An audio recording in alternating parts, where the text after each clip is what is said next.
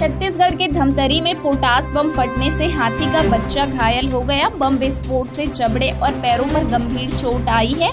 हाथी की उम्र पाँच से छह वर्ष की बताई जा रही है। घटना उदंती सीता नदी टाइगर रिज़र्व की है। अधिकारियों को बम का टुकड़ा भी मिला। फिर जंगल में कई किलोमीटर अंदर खून के धब्बे मिले। वन विभाग ने हाथियों के दल को ड्रोन को ट्रैक कर ढूंढा।